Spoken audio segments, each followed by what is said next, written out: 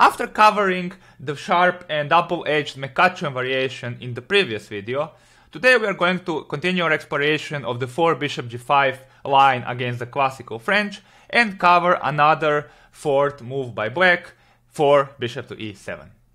So after e4, e6, d4, d5, knight c3, knight f6, bishop to g5, in the previous video we have examined the move bishop to b4 in quite some detail, leading to the so-called McCutcheon variation, while the topic of this video will be an alternative bishop move, the logical move bishop to e7, dealing with this uh, annoying pin on the knight on f6, and uh, asking uh, white what they want to do with the pressure on the e4 pawn, which is once again renewed. The drawback of this move is that it allows a very sharp option for white, uh, which is the so-called Alekhine attack, uh, which we will get to a little bit later.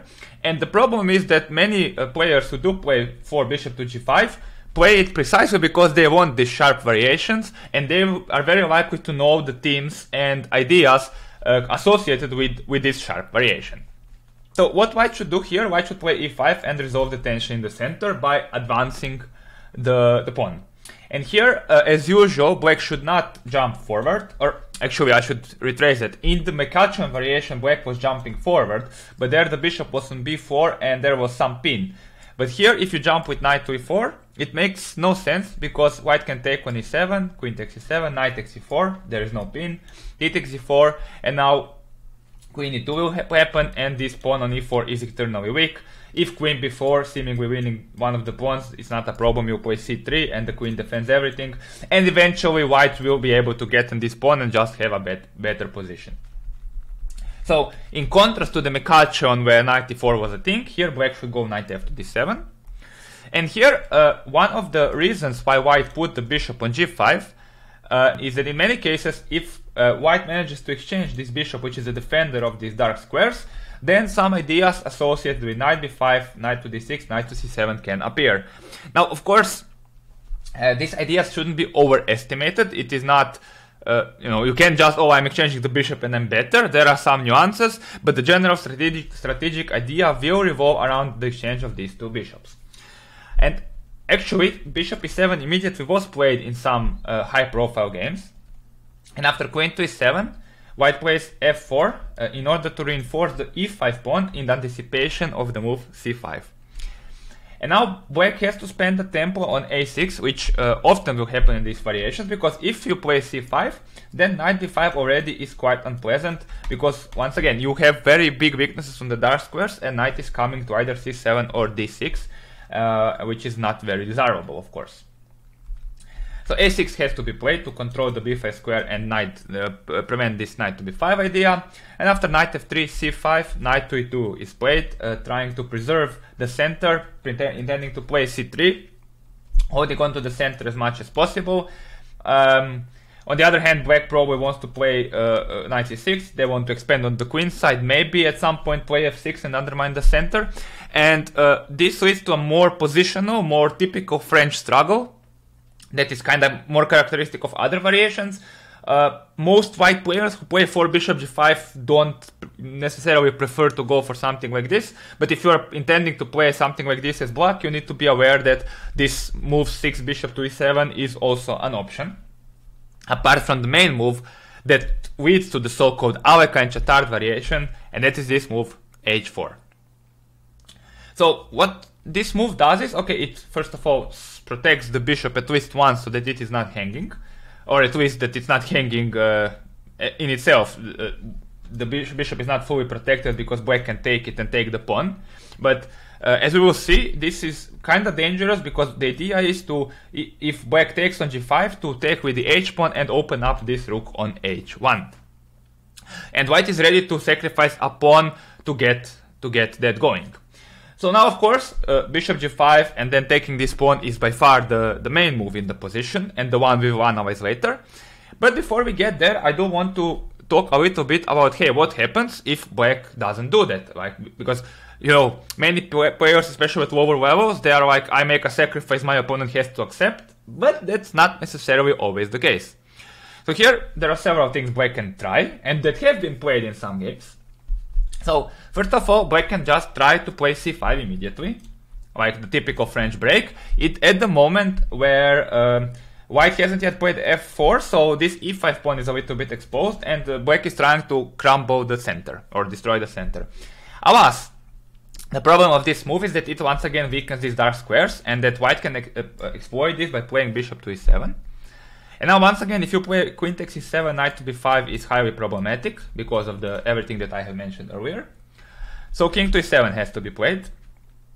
And uh, in this particular case, uh, jumping with knight to b5 doesn't have particular point. I mean, okay, you can plant the knight to d6, but with the king that is not on e8, it is no longer a check. Knight c7 is no longer a threat. So here it is a bit, actually a little bit less powerful, and in the meantime, black can maybe like play cd4, maybe threaten knight to e5. So it's a very big question whether we will be able to maintain this knight on d6 whatsoever. So that is why f4 makes more sense, uh, re reinforcing this e5 pawn. And now if, for example, black tries to do something like queen b6 to kind of increase the pressure on d4 and uh, pressure on b2, then white has this motive of knight a4, which if you recall my video on uh, what every player should know uh, about the French defense, it is featured there. So white is attacking uh, uh, the queen and also defending the b2 pawn. And if, for example, queen to a5, we play c3, uh, the center is secure, we can play b4 at some point, and uh, yeah, maybe at some point we can also even consider taking on c5, and this should be pretty reasonable for white. Uh, and if black tries destroying the center immediately with CD cd4, we play queen d4 somewhat surprisingly, because uh, you might wonder why doesn't this allow knight c6, but yeah, but we here we play queen to d2, and we have a standard French position, but with the king stuck on e7, and also with uh, us having exchanged our uh, like bad bishop, dark square bishop, which is kind of restricted by these pawns, and having weakened these squares. So this is a favorable version of the standard French structure for white. Uh, and if black tries to play queen to b6, uh, which is what they have to go for, because now b2 is under the attack, there is a tension between the queens. White has to take queen b6, knight b6, h5. And in this position, this should be relatively a pleasant endgame for white, because we have a lot of space on the king side. Uh, we have some control over the d4 square, this bishop is still bad.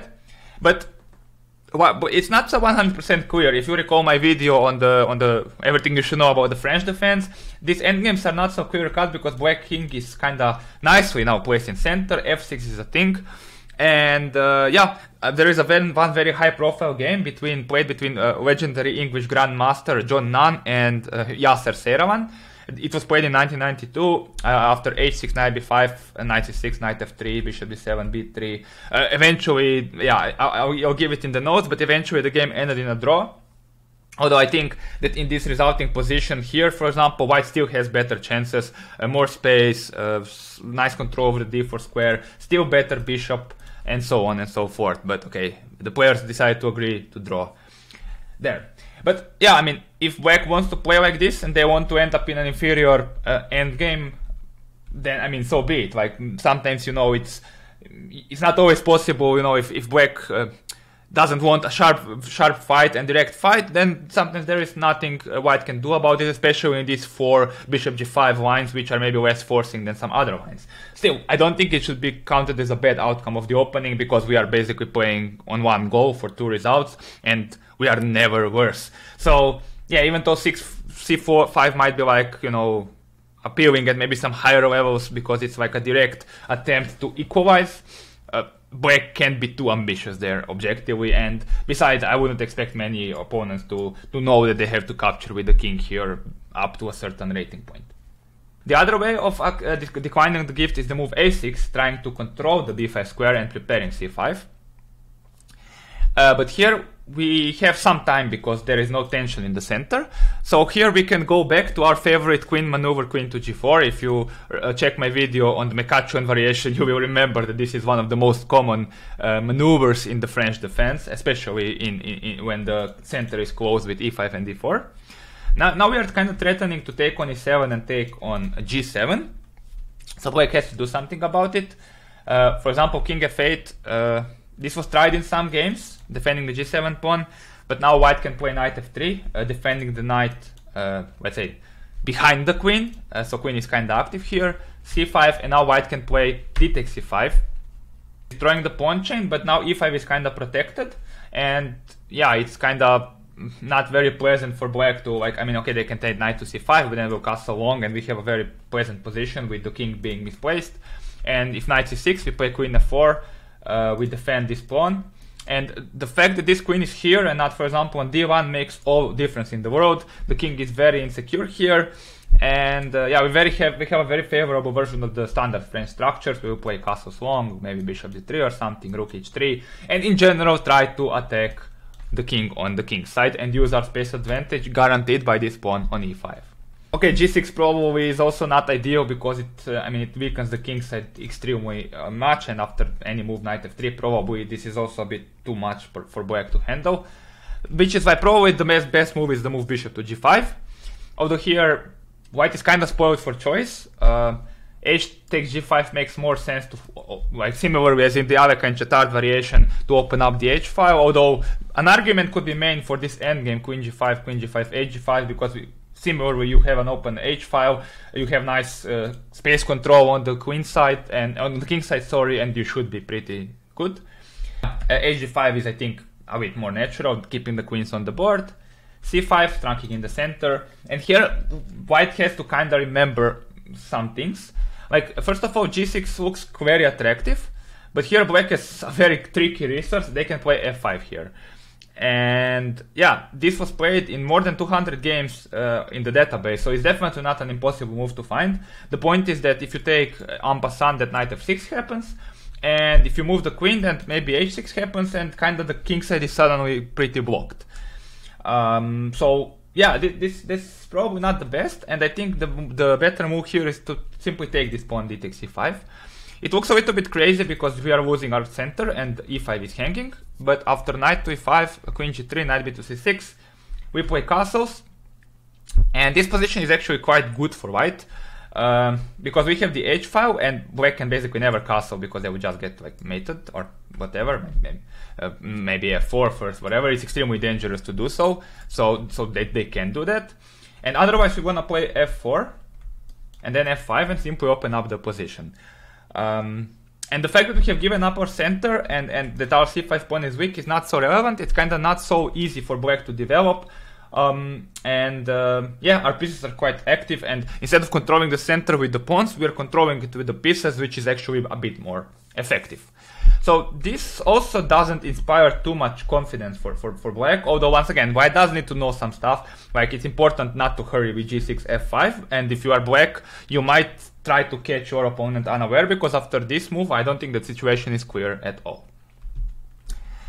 Alright, so what else is there? Black can also play h6 here, it has been played in some games, and um, this might actually be like, if you are trying to refuse this sacrifice, uh, refuse the the the Alekhine Chatard attack, this might be the best option. White still has kind of spoiled for choice here. Like first of all, taking on e7 is very, very, very logical. Um, as you might recall, this was possible even without h4, uh, h6 included, and with h4, h6, you might make an argument that this is more beneficial for white because black made a move on the king side where we will attack. We uh, white has get uh, has ob obtained the h3 square for the rook and so on. Um, so after bishop e7, queen e7, we play f4. Uh, I think it's the best way simply to reinforce the center and to basically prepare the, the, the, the, running of the pawns on the king side. You can play something like queen g4, castles f4. You can also play knight to f3, but I'm not 100% sure if that's the most critical here because white's setup with h4 is very aggressive and now you are suddenly switching to some more positional stuff. Um, after castles, queen d2, c5, d takes c5, queen c5 or e5 is a little bit like let's say exposed. For example, castles knight to c6. And now in this circumstance, like we would very much like to play maybe g4, g5, but we need to worry about this pawn on e5. Uh, if the and that's why I think it's better to have the pawn on f4 to protect it uh, rather than the knight. I, I, think it's just we can afford to to, to, to spend some time to to to move some more pawns because the position is very closed and like black can't just open up the center and exploit quote unquote waiting development. So play might continue here, for example, castles. This is dangerous because we just go g4, and if c5 will gladly take, d takes c5, queen c5, and now g5. once again, we are only moving the pawns, but black's position is already very dangerous because we will just open up the king and basically checkmate. Uh, it's very easy for us to bring some pieces into the game, and in the meantime, where is black's counterplay? Like, it's not so easy to get to this king. Uh, maybe maybe a6, not yet determining the, the position of this king and preparing c5 is better. But after something like knight f3, we put the knight before behind the pawn, c5, queen d2. Here we are not taking because once again we don't want like we are not having a clear object of the attack yet so we are kind of waiting to see what black will do um, of course if now black castles then we'll play g4 or, or take on c5 and play g4 uh, if they play cd4 knight d4 knight c6 now we'll play castles long because now black doesn't have so if we go for example if if we go queen d2 and they play some move i don't know whatever uh, but some move, I don't know, uh, g6. And if we go castles long, then black can keep the option of playing c4, playing b5, b4. So if they play cd4, then uh, this option of c4, b5 has been removed, and we can safely castle long. So this is a common motif that we will also see in some other variations, especially in the in the Steinitz variation of the of the classical variation.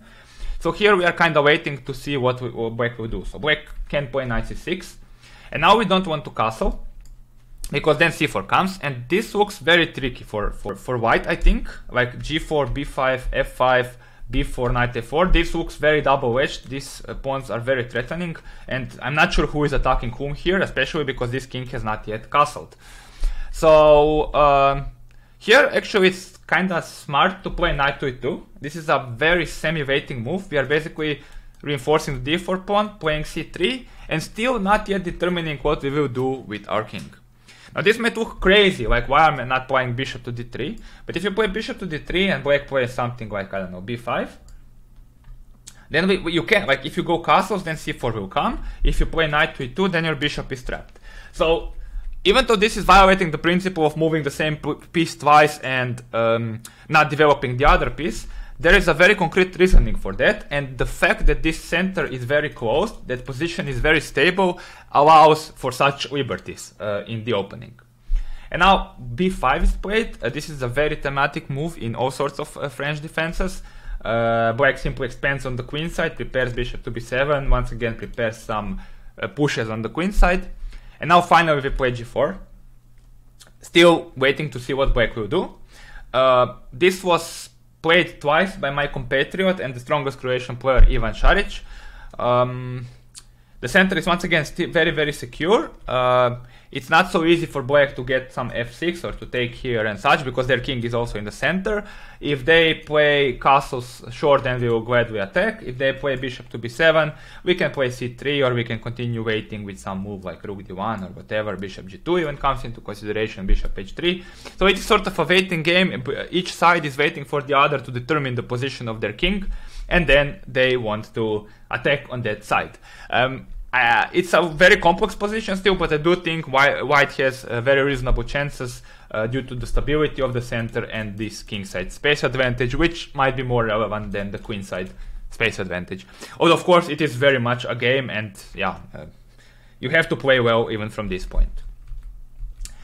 Now, with all that being said, um, going back to move uh, 7 here after h6, White can also play bishop to e3, not exchanging the bishops but trying to emphasize that with this operation, uh, we have gotten the bishop to e3 with, uh, while forcing black to spend the tempo on h6. And this bishop e3 is kind of fighting against c5. Uh, note, by the way, that bishop uh, h4 loses immediately to queen g4 and queen g7, so that's not a good idea. Or and if bishop g5, you have f4, so that's really not good for black. Um, so c5 has to be played, striking in the center immediately.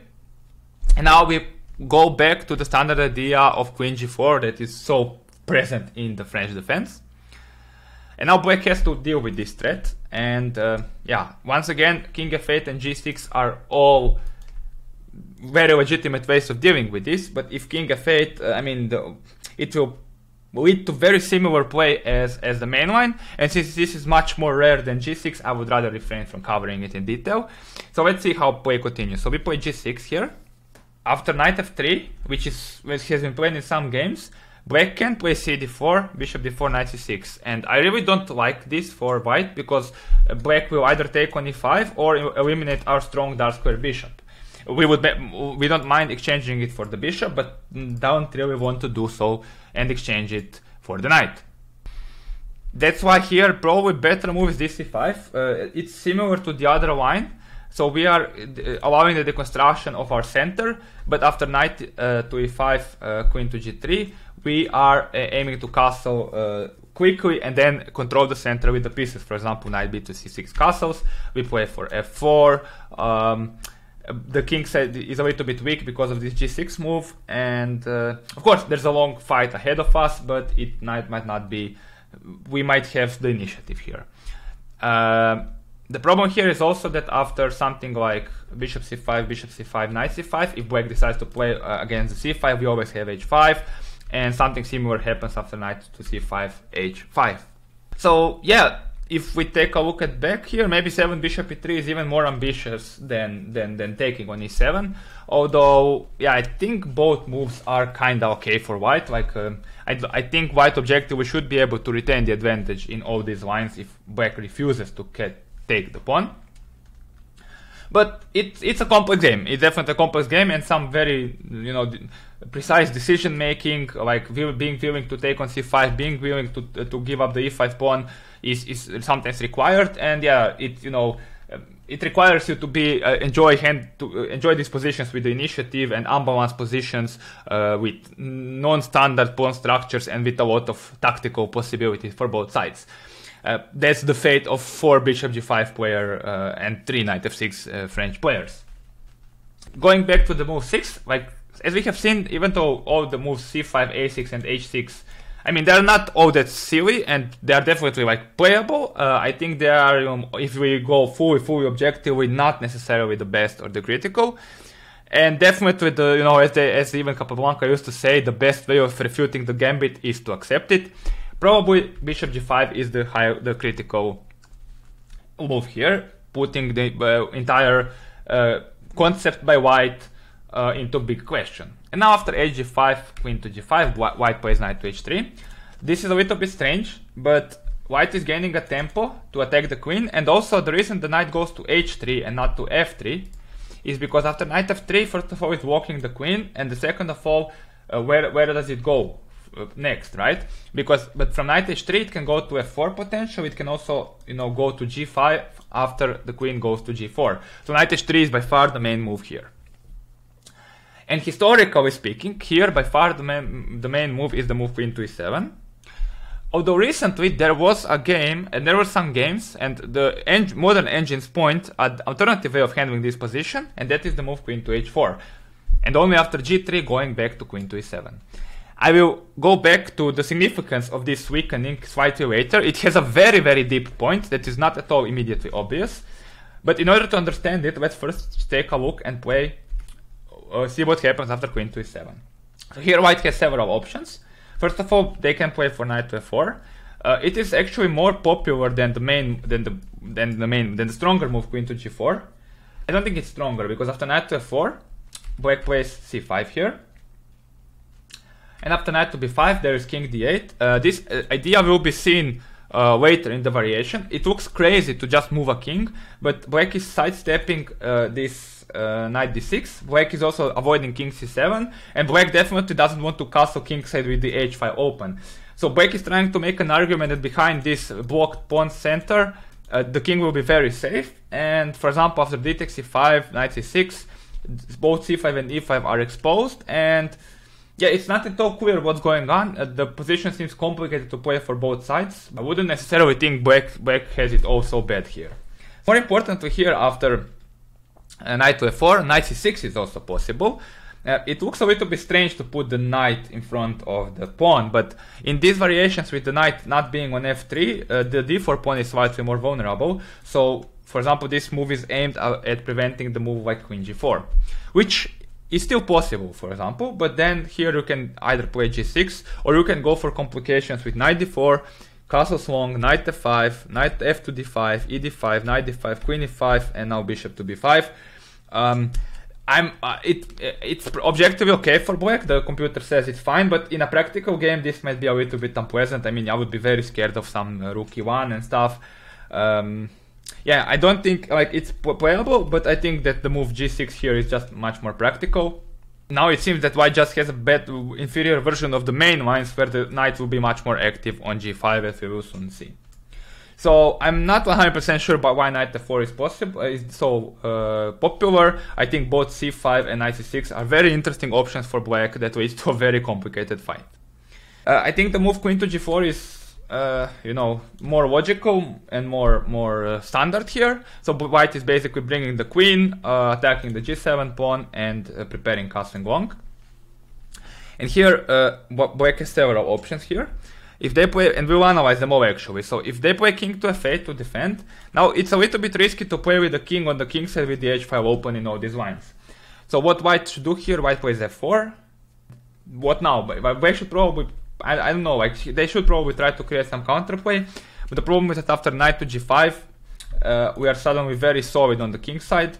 Uh, and after h6, knight to b5, like the knight is coming here, there is this annoying pin. Um, knight f3. I mean, we can always go back if we need to castles long, and black's entire position looks very, very non-harmonious and very, very dangerous, to be completely honest. Uh, f7 might come under pressure at some point. It doesn't look too good for, for, for black, something like this. Uh, if black tries to do f5 here, uh, trying to exploit the fact that queen is protecting the pawn, this does make the structure on the king side a little bit less flexible for black and also weakens some dark squares. So here uh, queen g3 is played. Uh, the queen is very nice we place here, controlling g5, controlling g7. Knight c6, attacking the, uh, this pawn, knight to f4.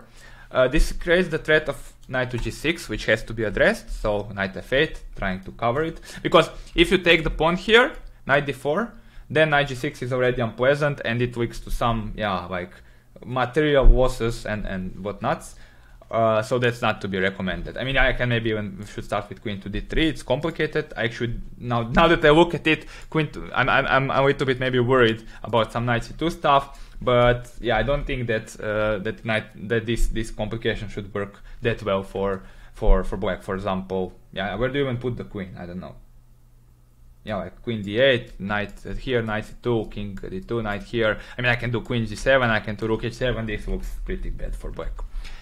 So knight f8 is the main move, trying to prevent knight g6, but here castles, um, protecting d4, and here actually uh, white has quite some tactical ideas here. For example, if bishop to d7, there is this move knight f to d5, uh, e d5, knight d5, queen d8, queen to g7, and black is just done, like everything is coming, queen, uh, queen, queen h8, knight f6, this is just horrible. So here black should probably play something like queen to f7 to protect the d5 pawn, but after bishop to e2, there are now bishop uh, h5 ideas, knight b5 ideas. This looks dreadful for, for black. Honestly, I would never play something like this as black. And that is why after queen g4, the main move is g6 here, not moving the king to the king side and just protecting the pawn. The problem here is that after knight to g5, uh, here we see white was maybe not so good to rush to f4 with the knight because the knight can be on g5, uh, threaten h7 pawn. And here, uh, what should black do? If they play h6, this move is actually would work well if the pawn was on g3, but here uh, uh, white doesn't have to react to the threat. Uh, so bishop d3 is played because there is this pin on the rook on h8. And actually there are some threats associated with knight takes uh, f7. Uh, so knight c6, knight f7. And here the sacrifice can be accepted. If queen to f7, there is bishop to g6. And if king to f7, there is bishop to g6. Um, and this looks pretty tricky for black. Uh, for example, uh, yeah, if you play something like king to f8, uh, that simply loses to rook h3, among other things. Uh, if you play king to g7, uh, then rook h5 is actually uh, very strong because it prevents queen to g5, and this king is always in, in the threat of a discovered attack. And if you go king g8, then uh, bishop h5 is even stronger uh, because uh, queen to e6 is now a thing. And uh, yeah, Uh, so queen g5 is not possible because queen to e6 and this is made very very shortly. Uh, if the king was on G- g7 this wouldn't quite work that well, but here this is just over. So this, I mean, you don't have to be a genius to, to understand that this is very dangerous for for black. And here the problem is that h5 doesn't quite work that well. So if the pawn was on g3, like here, then queen g5 would be obviously forced. And that's actually one of the points of playing queen to h4, which I will reiterate it later. But here queen g3 um, is possible, and once again, like the sacrifice probably can't be accepted because after king f7, bishop g6, once again everything loses. Like king f8 uh, loses to rook h8 with rook f4, uh, king g7 loses to bishop to g5 now. Now there are no queen g5 ideas uh, with the h pawn not being on h6, g8. Sorry, then bishop h5 also. Um, this is like uh, white collects the second pawn uh, for the piece and also has an ongoing attack. And even the endgame after queen g7, queen f4, knight d2 5 d5, queen e5, queen e5, knight e5. Probably that's like the black's best chance. But now the material equality is restored. Uh, white has within development. White has two dangerous pawns. Uh, arguably the better bishop, a better coordination. Maybe black can survive by finding some sort of series of only moves, but it looks extremely dangerous to try to do so in practice. I'm not sure if many black players would be able to do so in a practical game, and yeah, it just looks very, very risky to play this as, as black. Which is why maybe h5 here is a better move, probably a bit more reliable option. Uh, just kicking the queen away and dealing, preventing all these ideas and dealing with the attack on the h pawn. But now the problem is that after queen to f4, this knight will more or less be permanent here. And these two pieces on f4 and g5 are sitting very, very nicely and black has a lot of dark square weaknesses. So um, white will play something like castles uh, long, at some point develop this bishop, and then probably undermine the structure with some g4 and try to break through on the king side. There's nothing like immediate as in the variation with h6 here, uh, which basically leads to some sort of forced, forced uh, variation. h5 is much, much less forcing, but it simply provides white with a long-term compensation for the pawn, which is something that Alekhine-Chatard variation is known for and what uh, players who go for this variation are very much wel- welcoming, I think. So that's probably why, I mean, I, I don't recall, you know, many people playing for bishop g5 these days, at least not top level, but I also don't recall many people going for 4 bishop to e7. Uh, I, I think that the 4 DE4, the so-called Burn variation, is a bit more popular these days. I mean, to be fair, French defense, the top level is not seen that often anyway, but let alone this this particular line. Still, uh, there are some relatively high high uh, level games that have reached this position, and maybe one attempt that might try to revive this variation for black a little bit, or that might breathe some fresh air, is this move queen to h4. Uh, this is one of those instances where maybe modern variations are trying to uh, influence or fundamentally change the evaluation of well-known lines. Even my Vicar engine like suggests this move, and it was tested already in 34 games in the database. I think it was played by very talented uh, American youngster Christopher Yoo once. Uh, so what is the point of moving the queen to queen here? Right? First of all, uh, the queen prevents queen to g4 and knight f4 because of the hanging rook, and basically provokes provokes white to play something like g3. Uh, if knight b5, then white will once again play king d8. Uh, we have seen this motif earlier. And then, for example, after queen d2, a6, knight c3, c5, the computer actually insists this this is completely fine for black. It was played in only a single game in my database. It does seem that it has quite some potential, uh, especially as a surprise weapon. Of course, the most logical move here is the move g3. Like, why not, you know, gain a tempo and kick the queen away? But now after queen to e7, queen to g4, uh, once again, uh, knight f4 is possible, but then uh, play proceeds very similarly as in the line with the immediate queen to e7, either knight to c6 or even uh, c5. But queen to g4 is the move that probably deserves most testing. And here once again king f5 is probably not, not best because after knight g5, h6, f4 this was already seen uh, in variation with the pawn on g2. This looks very very risky for black because the king is stuck there, knight d5 might come, uh, castling uh, long will come and white has definite compensation. Uh, similarly, f5 is probably. I mean, f5 might make some sense here, to be honest, actually. Uh, because now queen g3 is not playable, but uh, still after queen to h5, uh, for example, g6, queen to h6, you get a lot of compensation, and if queen to f7, uh, you can even go for the endgame as, as white. So uh, yeah, don't think f5 is a move that that that that will revive this variation. But the move that actually is very interesting is the move g6. And after knight g5, h6. We have, if you remember, with the pawn on g2, this was not possible because uh, of the line starting with bishop to d3.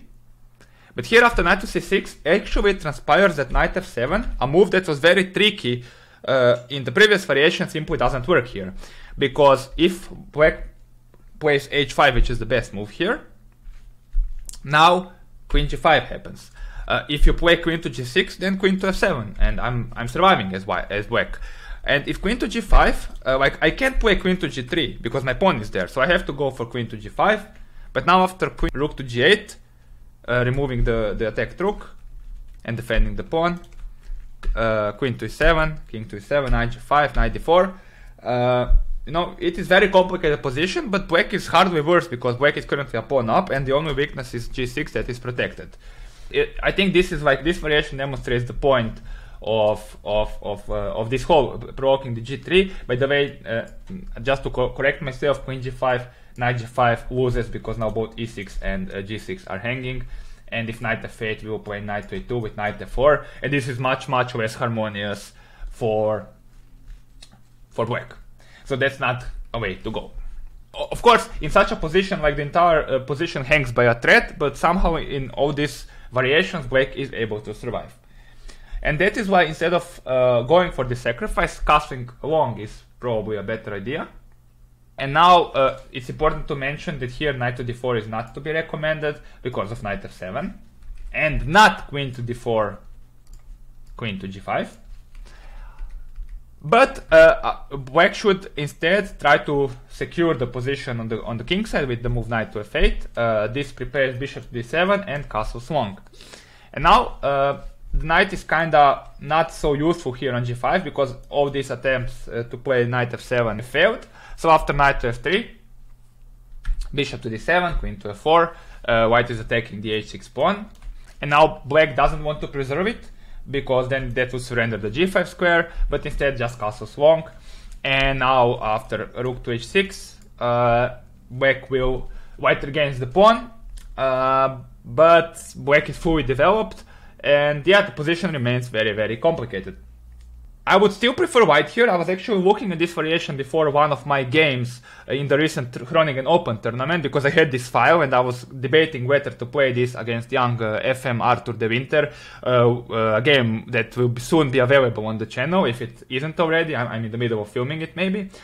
Um, I would still think it's easier to play as white here because uh, black is kinda cramped. But on the other hand, black is very solid, and you know white does need to understand all this and uh, find all these moves, and white does need to know that here the sacrifice knight f7 doesn't work. So even though I wouldn't necessarily recommend uh, this particular variation uh, with uh, 4 bishop to e7. Um, against bishop to g5. If I were to recommend something, I would probably recommend playing d takes c4, uh, which will be covered in the next video. But if I were to recommend playing something, I would probably recommend you to investigate this line with queen to h4, because I do think it has a big practical value and that it might come uh, as a big surprise to your opponents.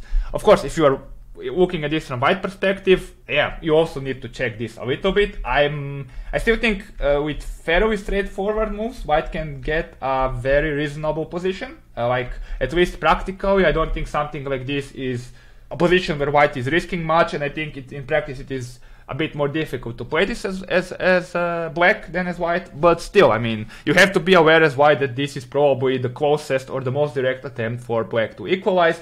And I don't know, maybe a better prepared opponent or somebody who has spent longer than myself analyzing this position might completely disagree with my evaluation or might find uh, a better, better way of handling it with black.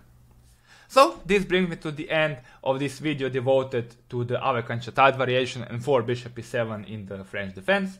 Uh, in the next video we will continue our opening explorations by analyzing the Burn variation with 4 d takes e4. The material covered in this video is available in the Lichess study, the link will be provided below in the description.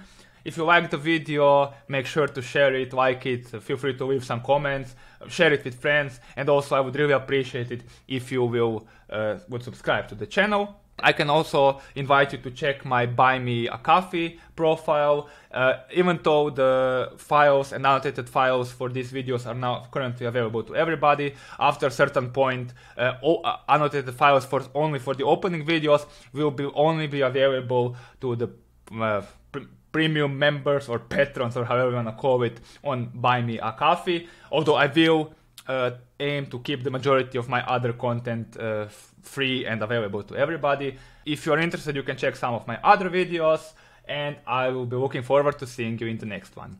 Thank you very much for watching this, and see you soon. Bye bye.